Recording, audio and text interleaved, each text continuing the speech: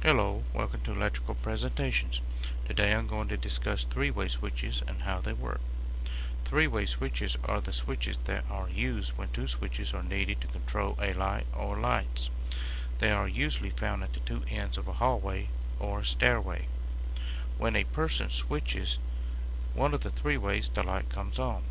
When he switches the other, the light goes off. If you look inside a uh, three-way, you will see that it is a single pole, double throw switch.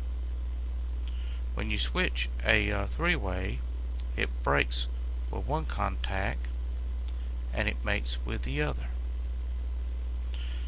Power is fed through this uh, three-way across one of the two conductors that connects the two switches.